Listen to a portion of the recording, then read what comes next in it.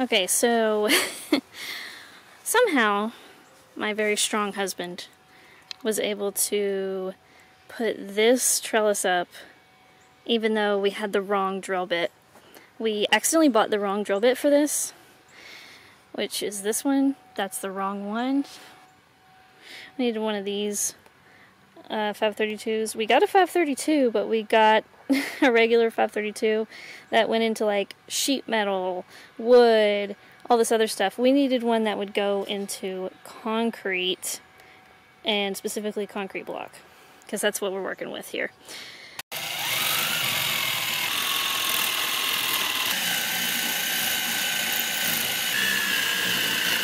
That is so much better.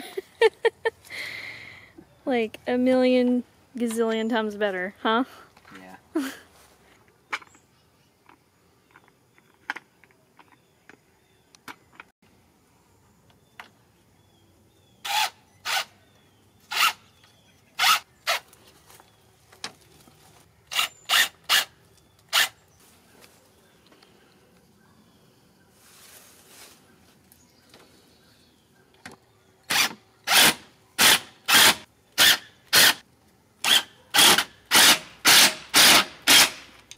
That looks so good. Yeah, I like it. Do you need a short, quick guide to get started in wildlife gardening? Well, turns out I've got just the thing. I just came out with a new free ebook just for you, and it's called A Wild Approach to Gardening 101. And it's available on my website today at maceylou.com slash shop. It's free, so go check it out. What do you have to lose? Hey guys, can you do me a quick favor, pretty please? Could you hit the like button and the subscribe button under this video? It really helps me know which videos resonate with you guys. Now let's get back to the show. Hello everyone, welcome back to Wild Approach. In today's video, it's just kind of a continuation of the previous pipe vine video where I planted um, Aristolochia tomentosa. And in today's video, I'm going to be talking about Aristolochia macrophylla. Now, this is the macrophylla. I'll show uh, up close images of it. I've noticed that the leaves on the macrophylla is much larger than the leaves on the tomentosa. So that's of note. Um, I'll show you one of those right now. This one has really big leaves on it.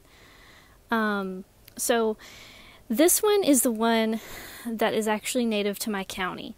Tomentosa is native to my state, but not my county. Macrophylla is native to my county. I live in Knox County.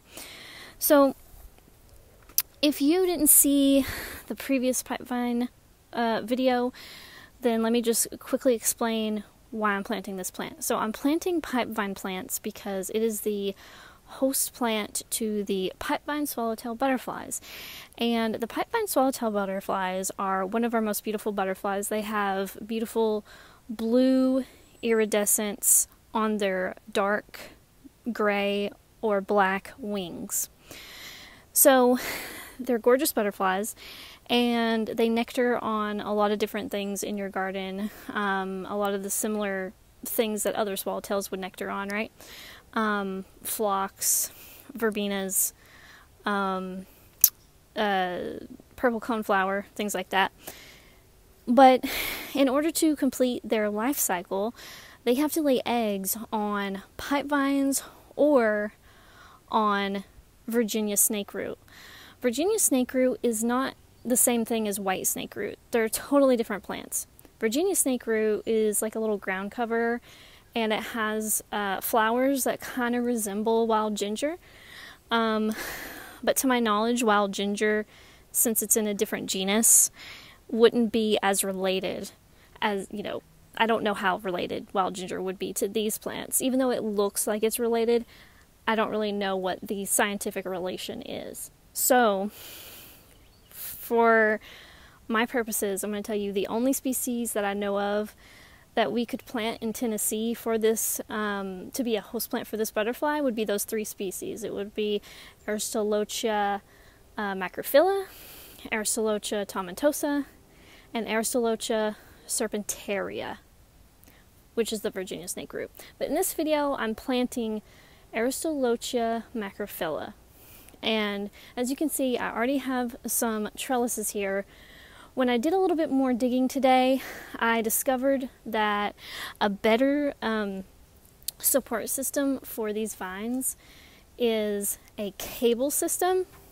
So just keep that in mind. If you want to grow these plants, it might be better to install a cable system. A cable system is usually where you would put a um, some kind of metal cable from your like eave of your building in this case and you would hang it this way and then your vine could twine up the cable up to the wall and the building and the eave, right?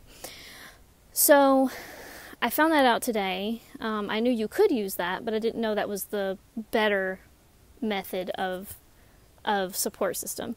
So for now, I'm going to use these, and I'm going to um, use these until they won't work anymore. Basically, um, when they're young, they should grow up these pretty well, I think but as they get thicker, they might need the cable system. So, as they get thicker, I might need to install cables that come down. But the great thing is is hopefully they'll still be short enough that I can reach up there and I can put the cable system in and just transfer them to it just by letting them grow up it on their own. So that's the idea.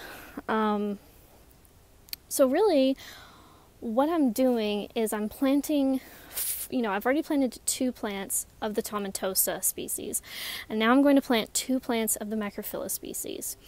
And in case you don't know what this area is, this area was where my compost pile was, and I dismantled it, and that's where all of the compost was, was right here. So this is probably some of the better soil in my yard, um, potentially, because I had a compost pile here for a couple years and let it break down. It was a cold compost pile, not a hot compost pile, so there's a difference. But um, when I was preparing this spot, I realized that it did improve the soil quite a lot in the first, I don't know, three inches or so. So it it improved it quite a bit, and I have a lot of leaves in this area. It's going to give it a lot of organic matter over time. But um, the other thing is, this is a, what I think is considered open shade. Open shade, from everything I've read online, is where you've got a wall, or you've got a tree, or you've got something that is creating some shade, some shadow, but not so much that it's closing the canopy. For example, a building can have this short little eave and have a wall and create a shadow, and you can still have an openness up here. And we have a lot of openness up here, um, especially once I trim all these branches, which I am going to do. Um, when I trim all of those branches off, it's going to open this up even more. And so, what will be great about this is these are going to be sheltered a little bit from the elements because they have this garage wall. We're facing northwest, and um, it's so it's sheltered for the most part, but it's still going to get some, I guess, ambient light. It's going to get like quite a bit of light from this side and from that side, and in the middle is going to be shady and so hopefully this vine will be happy because hopefully it will be able to grow toward however much light it wants to get. Does that make sense? Guys, don't forget I have these hoodies available on my shop and it's it says sassy frassy and if you love sassafras trees as much as i do then you might love these sassy frashy sassy frassy shirts that's hard to say.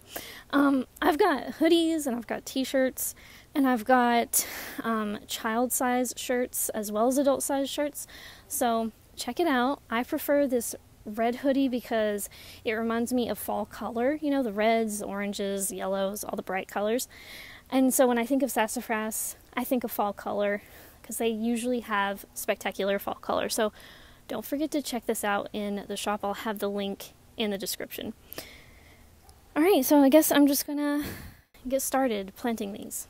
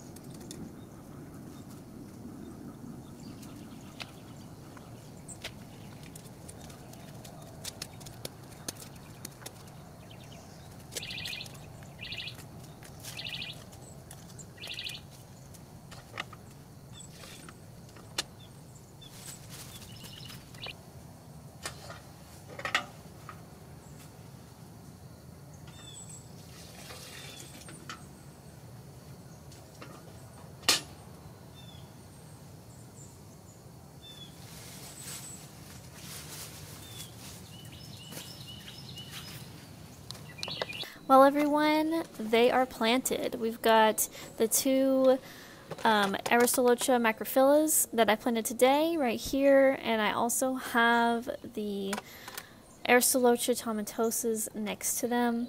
So it's every other one. We've got the macrophylla, then a tomentosa, then this macrophylla, and then another tomentosa next to it. So we will see which ones do best. I like to plant multiples of each thing just to see what survives and just to make sure I have something that survives. Thank you guys so much for watching. Please don't forget to leave a comment down below and let me know what you think. I will see you in the next one. Bye guys. Brand new items are now available in the shop. Thanks so much to viewers like you for supporting the channel.